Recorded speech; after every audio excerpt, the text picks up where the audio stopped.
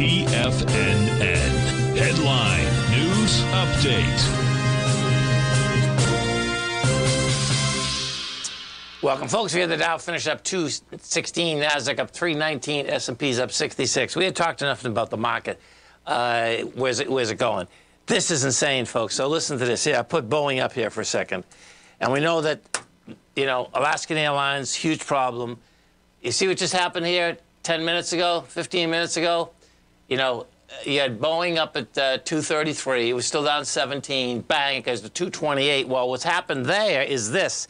They start inspecting these planes. United just come out with a press release. Listen to this, man. This is sick. That they just found on five aircraft, okay, I don't know how many they're going through, loose bolts. On, this is the same problem. The where the nine plug doors are for they call it nine plug door. Boeing 727 Max nine plug door.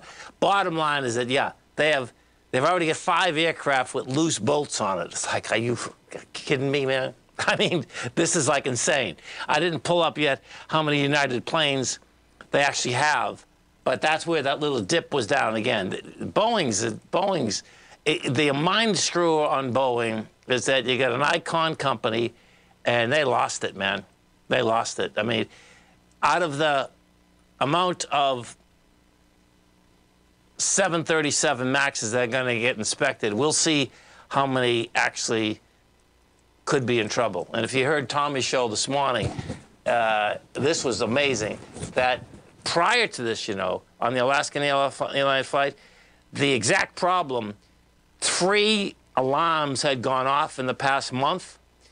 And what they did is that they turned them off. I don't. They might have looked at it or something. But then that particular plane, they says, okay, we can't put that plane over the water until we find out what's going on. It's like, really?